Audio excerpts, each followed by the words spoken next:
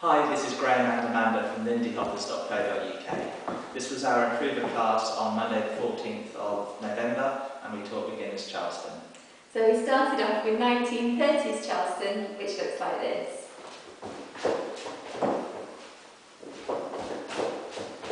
And then we have the variation